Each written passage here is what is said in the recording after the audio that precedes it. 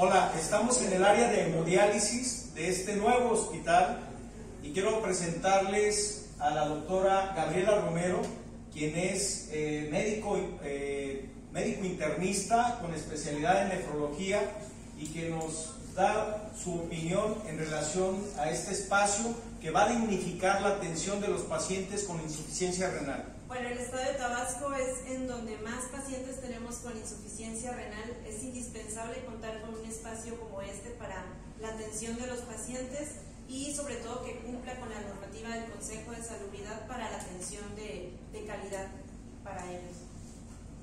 Los espacios que tenemos, doctora, ¿cómo los ve? Están muy bien, son mucho más máquinas que las que tenemos actualmente en el otro hospital. Los espacios con el reposet y las máquinas son adecuadas como nos marca la, la normativa.